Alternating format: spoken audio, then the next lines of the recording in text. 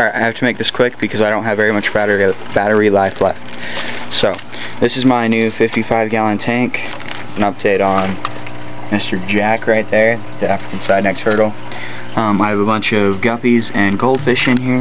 I have a blue uh, gourami, a couple of ghost shrimp, um, a few guppies all around.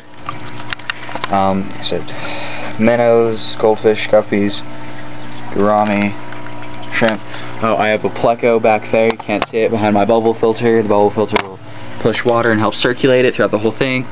I've got my filter, or my heater. There's my 55 gallon Aqueon power filter. Hoods, here they are. The light comes off on both of them so I can actually move them, get rid of this plastic. Here's all the stuff that I'm using. Algae fix, uh, reptile, Ward's reptile pellets, some flakes, uh, sinking shrimp pellets, and then uh, water clarifier. Water clarifier is really nice when you're using a sand substrate because my sand substrate I just got at Lowe's.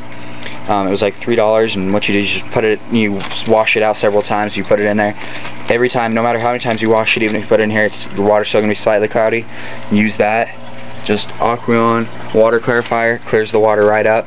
as you can see my water is pretty much crystal clear. First, put the sand in there. Uh, you could not see more than an inch in so it's working 100% and that was yesterday's when I put it in.